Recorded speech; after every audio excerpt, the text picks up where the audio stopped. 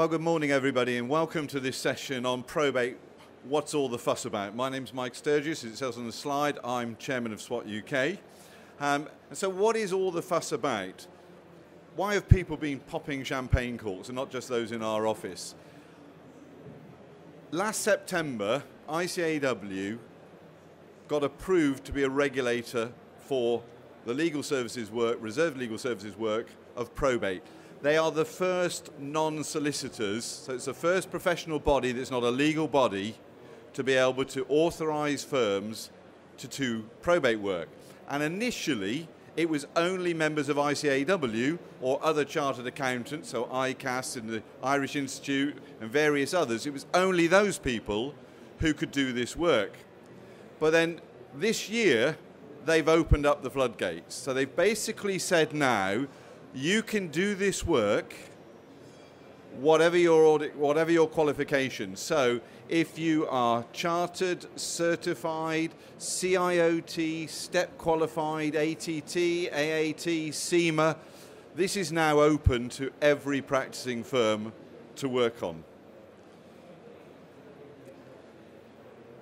If we're looking at the application process that you have to go through, then there are certain hoops that seem a little bit strange to us because we've never had to jump through them before. And these are hoops that have been put in place by the Legal Services Board as part of the requirement for ICAW to be authorised. So we have to have a register of firms.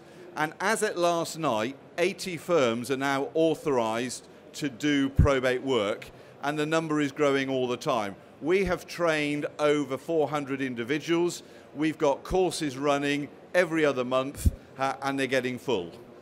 So this is seen as being a popular, but part of the process that you have to do is the application form is to explain why you being regulated is going to improve access to justice. So we've actually got to put a statement as to why you should be regulated. Now we recommend you don't say because we can stuff the solicitors you, know, you will put a statement on along the lines of geographical area that you'll be able to cover, um, broader access to legal services, maybe new efficient ways of doing the work. But the reality is, this market is open for us to take. If you are a sole practitioner, you have to have an alternate in place in case you walk under the bus or are incapacitated.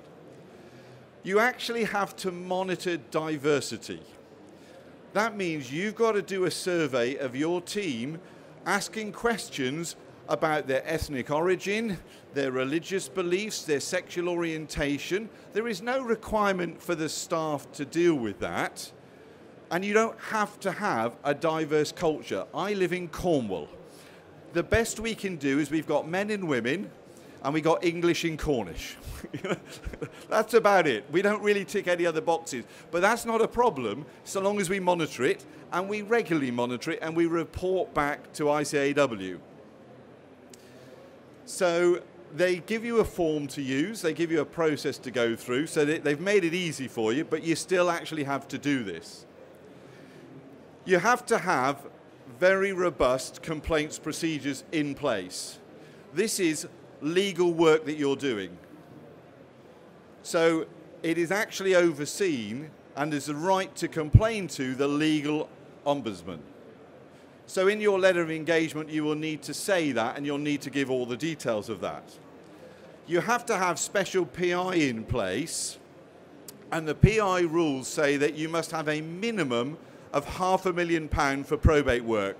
So even if your PI cover is lower for other work, you've got to have a half a million pound for probate work. Now, assume you actually get some probate work where there's a million pound uh, in the estate, and you've only got half a million pounds worth of cover. You can still do the work, but you have to say to the client that I'm only covered for half a million pounds. Are you sure you want to use me? And surprise, surprise, you have to be competent. Now, you have to be competent initially and you have to maintain that competence. And the basis of proving that you're competent initially, unless you've already got a qualification, which we'll look at in a minute, is that you go on a course. Uh, the course is run by us, SWAT UK. Uh, we don't have a, an exclusivity on it. It was open, and the Institute wanted about four or five people providing the courses, and they wanted to let the market see who won. And everybody who was being approached looked at this and said, It's not a big enough market, nobody's going to make any money. Everybody backed out, and it just left us.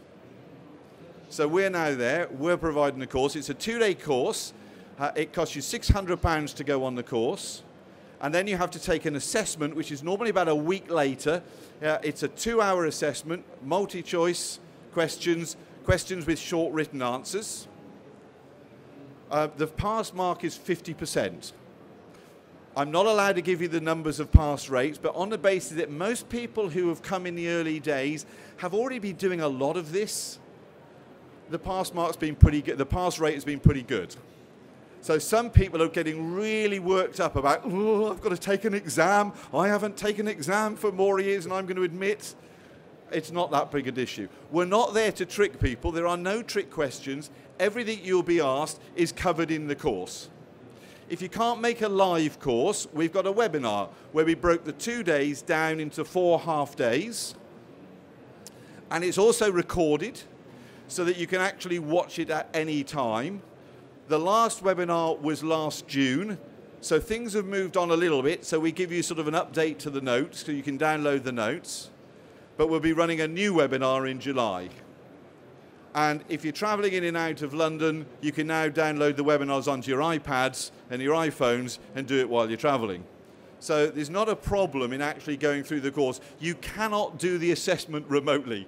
You have to turn up and you have to prove that you are who you say you are. So you have to, you know, we're doing sort of money laundering type checks on you. We, we expect to see photo ID so that you haven't sent your mate who really knows about this, your solicitor friend, to, to do the paper for you.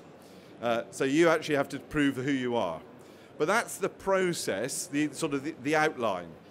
We are not allowed to do non-content. We are not allowed to do contentious probate. We are only allowed to do non-contentious. And there's a reason for this, uh, because if you're looking at the way the law is dealt with, then contentious process, probate, is dealt with in the Chancery Division of the courts. Non-contentious is dealt with in the Family Division. And so what we do is we do the, we do the work, and as soon as it looks as it's going to go contentious, we have to pass it over to a solicitor. Now, in fairness, most solicitors don't do contentious probate. And there are specialist firms, and all they do is contentious process, pro, uh, probate, or a large, they'll have a division that does contentious probate. And so you start the work, and you realize it's going contentious, so you hand it over to these guys who take it into the Chancery Division, and they deal with the contentious issue, but then it comes back to the Family Division, for the probate to be done. So they don't do that, they pass it back to you. So you've got a nice sort of strategic alliance going on there. Now, what's going to make it contentious? Well, we can have a range of things that's going to get people upset. The first one is there could be disputes over the will. It could be disputes over the drafting or the, you know, what the words in the will mean. It could be disputes over whether the person was actually put under undue pressure when they made the will or that they're, they're maybe they didn't have the mental capacity. There could be a, a, a claim that I should have been included in the will because I'm a dependent and I've been left out of the will. There could be actions against a personal rep representative for negligence, for fraud, for theft. There could be trust litigation, or they could be trying to get rid of the personal representative. So there's a lot of things that can go on around this process.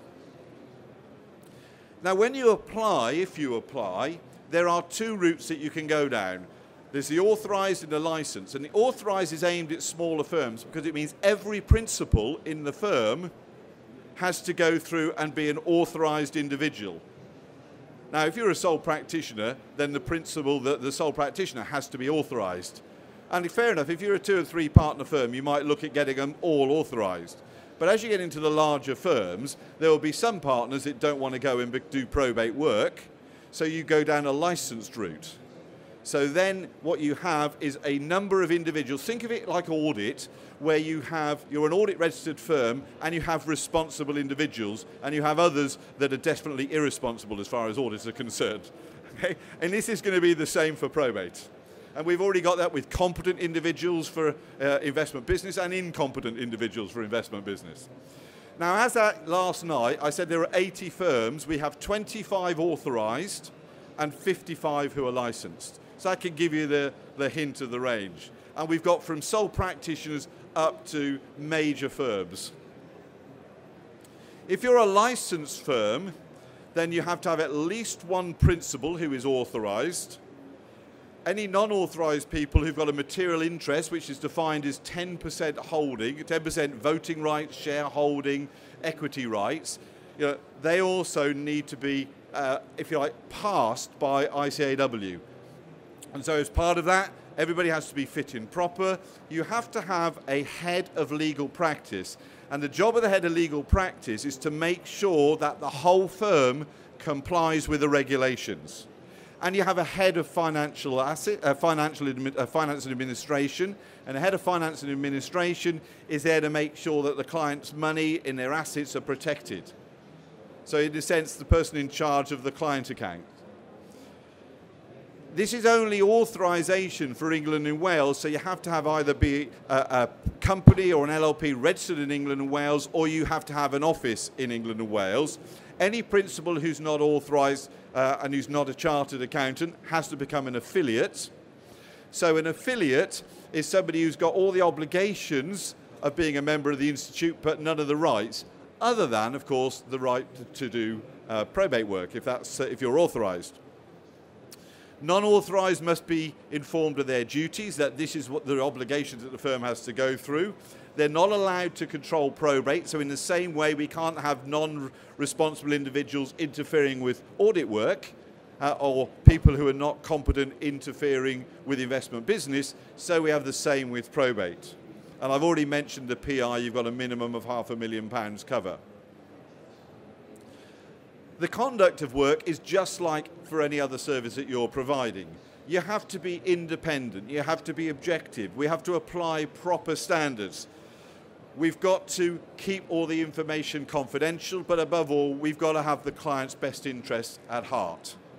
So there's nothing unusual there. It's exactly the same as we would apply to any other professional work we do. So we have these different levels there. We've got an authorized individual who's the person who has to control probate work.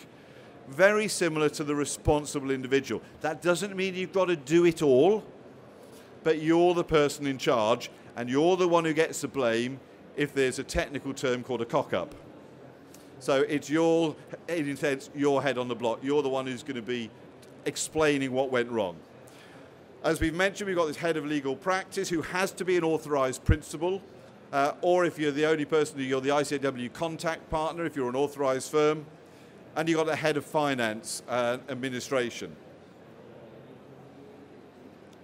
There are three routes to becoming authorized by ICAW. And the first route is you are a member of a, an accountancy body which is defined as the Institute of Chartered Accountants in England Wales, of Scotland, Ireland, we've got the New Zealand and Australia, we've got South Africa, we've got Zimbabwe. So the chartered institutes. If you're one of them, then you need then, then you've got the sort of the first tick, and then you have to go on the course improve competency and pass the assessment. The other one is you're already approved by another body allowed to regulate probate. So you're a solicitor, for example, joining a multidisciplinary practice and they're coming with that experience, and that's fine. They don't need to go on our course, they're already competent. And then you've got the third option, which is available of anybody else who's going to be authorized, and that's where we're going to bring in the other qualifications. And the way the Institute was dealing with it is they said, well, the chartered, we know they've reached this level in their exams, so we need to top them up to this level. But we don't know what the other level of exams are, so we need a different course for them.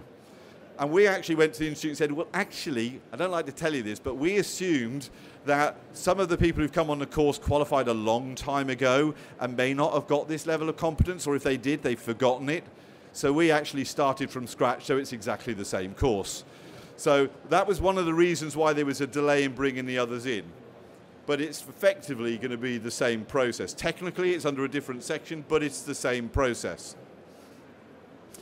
Now, I mentioned that we have to have uh, complaints procedures in place, robust complaints procedures. In your letter of engagement, you have to say that this is regulated, reserved legal work, uh, and that they have the right to complain to the legal ombudsman, and you have to give all the details of the legal ombudsman. If you're looking at complaints, then you've got to respond to a complaint, you've got to acknowledge a complaint within five working days of receiving it, and it's then got to have an independent internal evaluation, and you try to resolve it. If it's not resolved in eight weeks, you have to remind them of their right to complain to the legal ombudsman. You don't want them to do this because he invariably fines for the complainant because you haven't sorted it. Unless it's a completely spurious complaint, you're probably going to lose. So sort it before it gets there. So how much does this lot cost? Well, if we're looking at this process, you've got different fees being charged, whether you're authorized or licensed, and it's based on the number of principals and it's based on the number of authorized individuals you've got. So you're adding the two together. So if you've got non-principals who are not who are authorized individuals, you're adding them into the number. So if you're a sole practitioner, you need to have a 350 pound annual fee, but you also have to pay into the compensation compensation scheme in case you go bust um, and the PI is not enough or it's not covered by the PI and they've lost money. So there's a, there's a sort of legal compensation scheme that's in place and we all have to, all those who are going through this process have to comply with that. As you can see, uh, the licensed, it's the same if you're a sole practitioner because effectively you're authorized. But as you move up, you can see that the, the fees are greater for the number of partners you've got if you're a licensed practice and if they're authorized. Now, if you're going through this process, you can see at the plus 50, then okay, they're not going to be authorized at plus 50. So it's going to cost for about £10,000 if you only do it in one office. The fees increase if you're going to do probate work. It's not how many offices you've got, it's how many offices are you going to do probate work in. And if you're 50 plus partners and you've got 10 plus offices and you're going to do probate in all of them, it's going to cost you 50 grand a year. But I can't imagine why anybody would want to start with doing probate in more than one office. You know, it's not going to be huge to start with. It's going to become huge.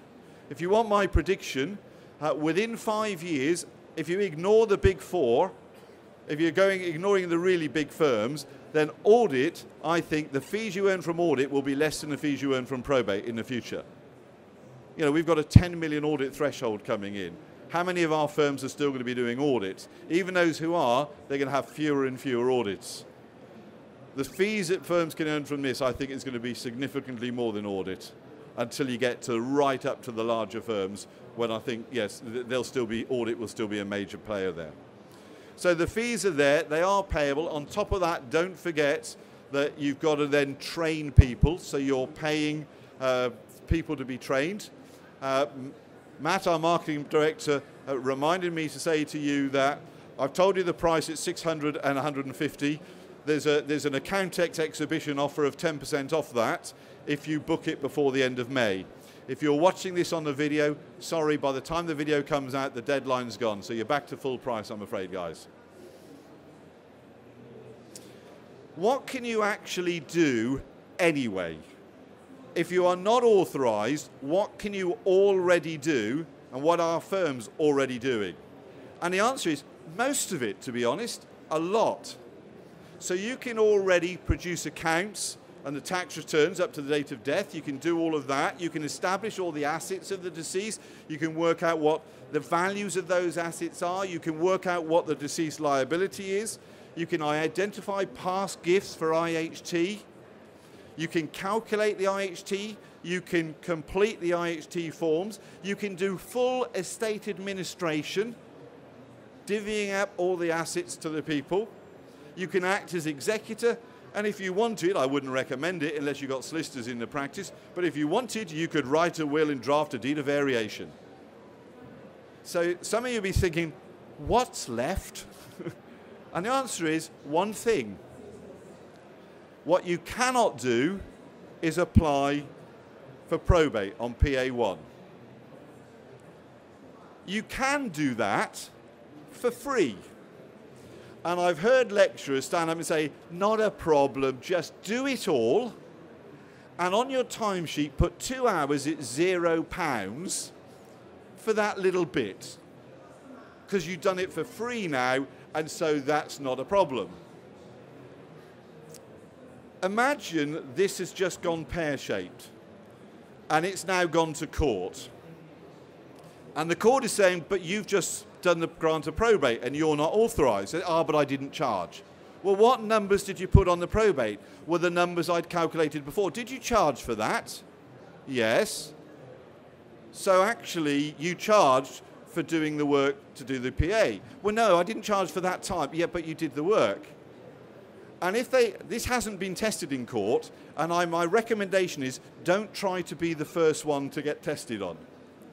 Because if you lose, you've just committed a criminal act. you've committed a criminal offence. You've just then done reserved legal work without authorisation. If you're a member of ICAW, um, they're going to take disciplinary action against you. You've committed a criminal act, so your PI won't cover you and you could actually go to jail or be fined. I think it's very dangerous what's being said by some of the presenters that I've listened to. And I really would not recommend, just don't go there. Tell the client, here's the figures, take them to a solicitor or take them to somebody else, take them to an intelligent friend, and go down to the office and do it yourself. So if you take that approach, you don't need to be authorized. So why would you want to be authorized? And the answer is because you can then say to the client, we can do it all. What are the two certainties in life? Death and taxes. And if you're authorized, you can advise on both. You can deal with both issues. i would love to see the first firm change their branding from chartered accountants and business advisors to chartered accountants and certainty advisors. because that's what we're going to be dealing with. We're going to be dealing with certainty, death in taxes. Now, there is still excluded reserved legal work. You cannot do contentious probate. We've already said that. But neither can you do administration of an oath. Now, ICW is looking at other reserved legal areas and saying, should we go for authorization? If you've ever done, had to go and give an oath, and I just signed up for a lease for our new our angel offices, re-signed the lease, we're excluded from Landlord and Tenant Act. I had to give an oath to say I understand this. And I wandered along to a solicitor and I spent 20 minutes with the solicitor while he filled the forms out and I raised my hand and it cost me eight pounds. So I'm not convinced many of you will want to go into the area where you can get a recovered rate of 24 pounds an hour for the work that you're doing. And by the way, you pay it to the solicitors in cash. I did ask whether I had to make a money laundering declaration. I'm told that it kind of goes into a slush fund and it goes towards the Christmas party or something like that. You know, I'm sort of thinking, pardon? you shouldn't be telling me this. We cannot draft a trust deed either. So these are the reserved legal areas that we cannot do if we're authorized to do probate. So why should a client come to us if we're authorized to do probate work? I mean, apart from the fact you know, that they know us, they trust us, they see us every year, we know about their business, we know about their activities. I'm amazed at the amount of knowledge you guys have about your clients and their family histories in everything that's going on. We've got details of a load of their assets for tax purposes. We actually understand tax. We actually can complete an IHT form properly. Anecdotal evidence from my client says every time they get an IHT form from a solicitor, chances are they've done it wrong. So we actually know this stuff. We are good at systems. We are good at process. This is a process. This is what we're trained for. And by the way, we are likely to stuff them on fees. That's a technical term you may not have come across. But the solicitors charge for their hourly rate and then a percentage of the estate. The banks just charge a percentage of the estate. I had a partner whose father in law died with a very complex estate, and he went to the solicitors and asked for a quote and fell off the chair in surprise. So he went to the bank, who was about 50% more expensive than the solicitor. So he said, oh, said, I'm going to do it myself. So he went away and he learned how to do it, and he charged all the time, notionally, through his firm to learn how to do it and to do the complete job. And at 100% recovery rate on partner time, he came in at two thirds of the price of solicitors, including all the time to learn how to do this. We can take these guys to the cleaner. The question is not why should they use us, is why won't they use us? So one of the early probate firms who was authorized, I contacted them and say, how's it going? And at the beginning when they were authorized, they wrote to every client. And in the first six months of authorization, so you can tell this is one of the firms that was authorized back in September time, October time. And in that first six months, they've got six jobs. It's not their clients are dying, um, but they wrote to all the clients, and when a death happened in the family, they often dragged out this letter. Now, of those six clients, two were with solicitors and two were with bankers and the family got them both replaced by the account, all of them replaced by the accountant. One of them was a farm. It was dad had died and left the daughter to the farm, and the farm was worth a million pounds. And the bank was the executor, and they were going to charge 4%. There were no other real assets, so they were going to charge £40,000 to transfer the farm from dad's name into the daughter's name. No IHT to pay, it was going to do that. So they got them kicked into touch. The accountant actually said, You don't really need me to do it. I'll do it if you want, but I can talk you through it. And he charged a few thousand pounds. So, and he made super profits on that. He's got a happy client. He's amazing client care. And that's probably the best piece of marketing this guy's ever done. Because guess what's going to happen? She's going to tell everybody how much the bank was going to charge and what she paid the accountant. And you can't buy that sort of marketing.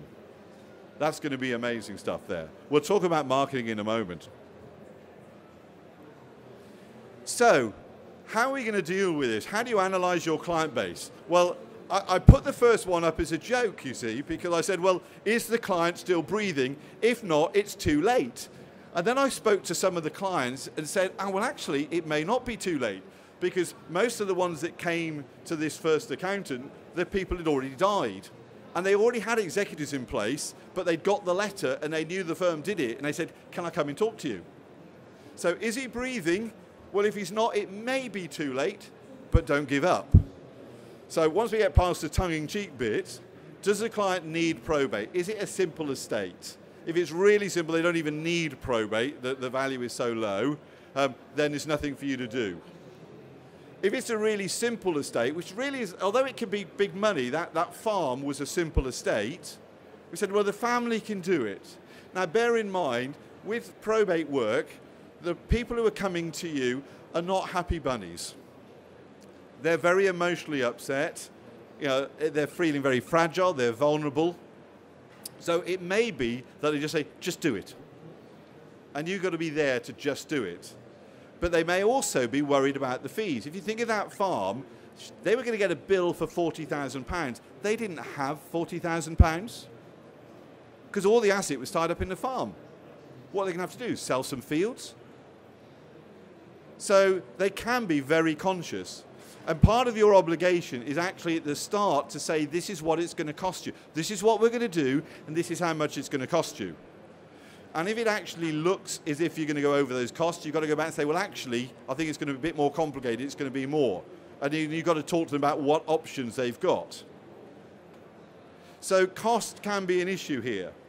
But what we're really looking for are those estates which are complicated, where we've got trusts involved, where we've got lots of other assets involved, maybe property that needs to be sold, that sort of thing, where it's not really going to be easy to, for them to do this.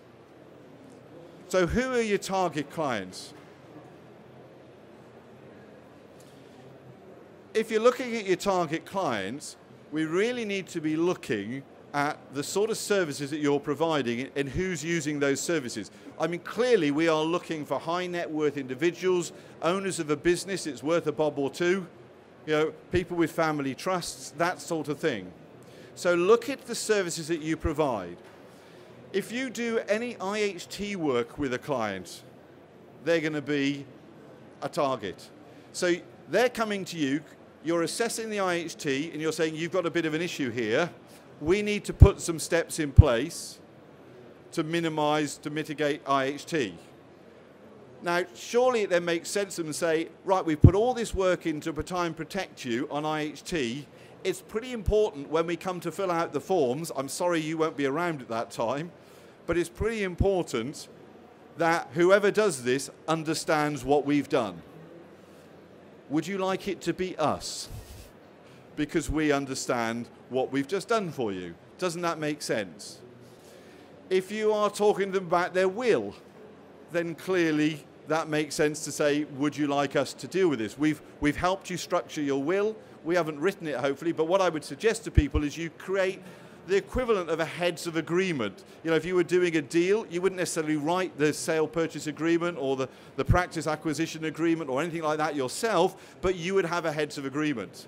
So let's set out, and you might set up a template, say, these are the things, this is what you're giving to whom, this is how you want to set it up, and by the way, who do you want to be executors? Would you like us to do it? And then you give that to somebody to write the will if you've got an IFA department, so you are doing financial services work, this is a no-brainer because they are always talking to clients about IHT, about life insurance, about critical illness, you know, about permanent health insurance. They're always looking at how we can actually make sure you're covered. Well, this is one of the areas. If you're talking to clients about succession planning and exit strategies, you know, okay, so you're going to sell your shares. At the moment, your main asset is your business and your shares. When you turn that into cash, you're going to have an IHT liability. What are we going to do about that? Let's put some strategies in place. Would you like us to protect that when we need to implement it? Would you like us to be the executors? And so you can go on. We're doing a business valuation. Why are you doing a business valuation? well, I'm thinking about exiting the business, or we're looking at selling the business, um, or I'm getting divorced, and the other half wants to know. Well, any of those is me, oh, you probably need to update your will as well. You're going to have this liability. And then you start the conversation going again. Any trust work that you're doing with clients will lead into that. So you can see there's a huge amount of work that we're doing. But it doesn't have to be that. As we said with the first, the first firm I spoke to, they just wrote to every client. They weren't interested in categorizing their clients. Said, well, we'll let everybody know. And I think you should do that anyway. But then you start to say, well, who do we really want? Now, I talked about why clients should use you, but of course, what you're trying to get is new clients as well, which is where we start to move into some of the uh, other activities that you're going to be doing. So we're going to be looking at strategic alliances. Now, the key strategic alliance, if you haven't got an IFA in-house and you, you work with an IFA, is go talk to them about this service because you fit together much better than a solicitor because you're going to be much more referring work to them and now you want them to refer work back to you. So that if they're talking to clients about wills, about life insurance and all this stuff, you want them to mention that you can do the probate work. So an IFA. Now you'd imagine that solicitors would not be a good target for being a strategic alliance partner. But what if you've got a firm of solicitors in the town who don't do probate work? You've got a commercial firm of solicitors in there. Who would they prefer to send their clients to for probate? You, an accountant, or the other firm down the road that does probate solicitors, but also does commercial and all the rest of it? I think they'd want to come to you. You are going to need if it goes pear-shaped, to pass work across to a probate specialist solicitor. So there's a potential there. So we've spoken to a number of probate solicitors who do this contentious work, and we say, where do you get your work from? They don't do the basic probate because they, they why would you want to bite the hand that feeds you? So they do the contentious bit and then pass it back. But occasionally, somebody will go directly to them wanting to contest a will. And in those situations, they then look to farm it out to somebody who can do the, the basic probate. And we say, well, who do you choose? They say, well, we choose people who send work to us, obviously. So you've got the potential there. And, and the firm I talked to early on said, well, I actually happen to have in my client base a couple of undertakers. and he said, so I've talked to them about it and I've left some leaflets with them. Now, clearly, there's going to be different sort of clients that's going in. There'll be a lot of clients that don't need probate or they've got very simple stuff. But nevertheless, you can have a conversation with them. And you say, well, you actually don't need it, or actually, we can help you through it, but you can do most of it yourself if you want, or we can do it all for you. And you have those conversations again. But you can see how strongly this ties in to everything that you do. So, what do we do about marketing for this? And the answer is a lot more than most firms are doing. Has anybody heard of Libby Lane? Has anybody heard of Bishop Libby Lane? She was the first woman bishop. And she was on national television. She's on the front pages of the newspapers. It's a big story. I'm involved with the Church of England down in Truro, and we had a new suffragan bishop, which is a sort of the second tier bishop, which is what Libby Lane is. She's not the, she's not the main diocesan bishop. And he hardly, when he was appointed, we hardly got anything in the papers. Nobody was interested. It's an also ran. It's just another bishop. But Libby Lane was on the front pages. What do we have here? Not the fact that you've been authorized, but what we're marketing here is the fact this is a major change in the way reserved legal services are delivered.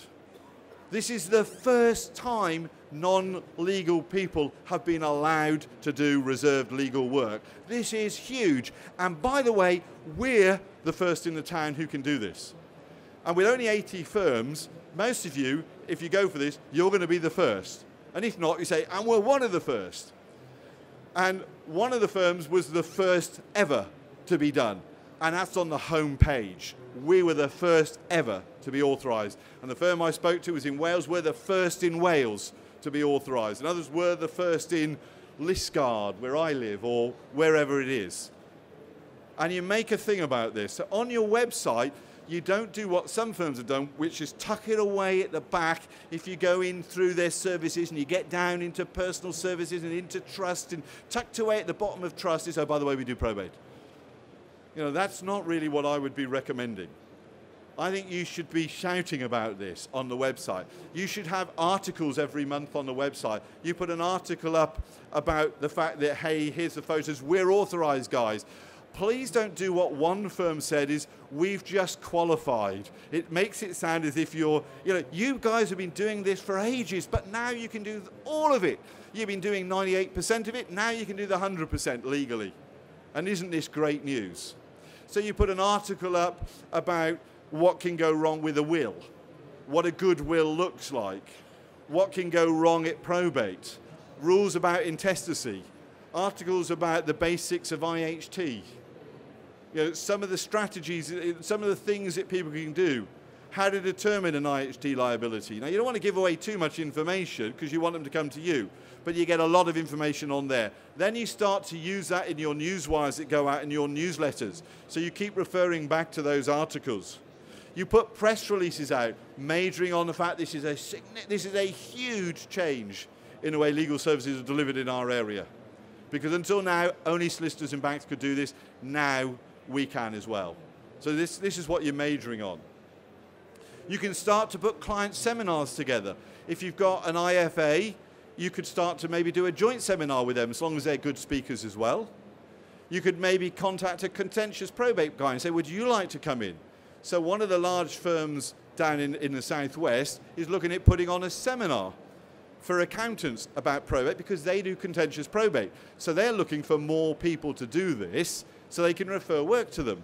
And they've asked us to come along and do part of that seminar.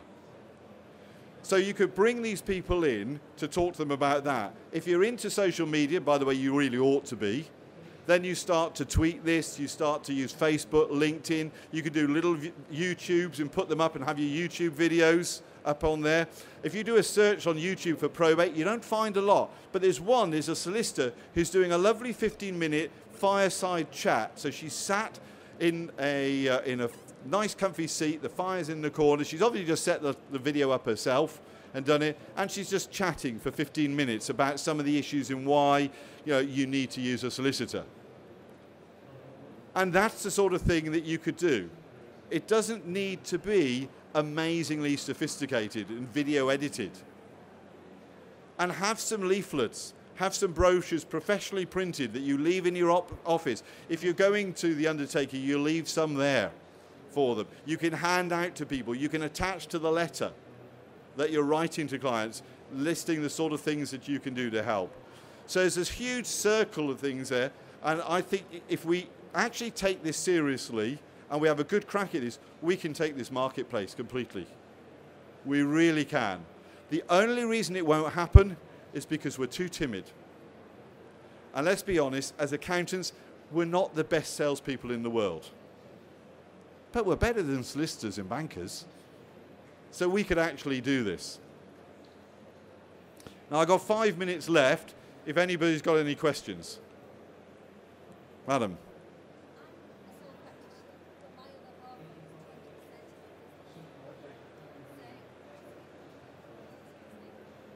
Okay, so you're a sole practitioner, your other half owns 20% of the business. Um, you're qualified, uh, he's not.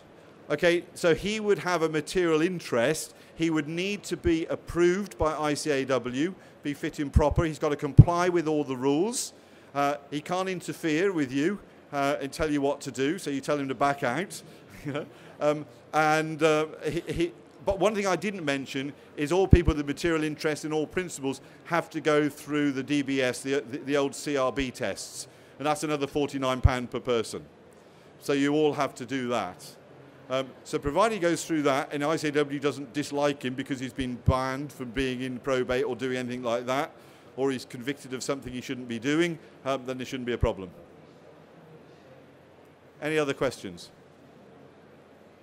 Well, I'm around until about one o'clock, so if you want to come and see us on stand 572, A572, uh, if you've got any other questions, you can have a chat then. But thank you very much. Thank you. Goodbye.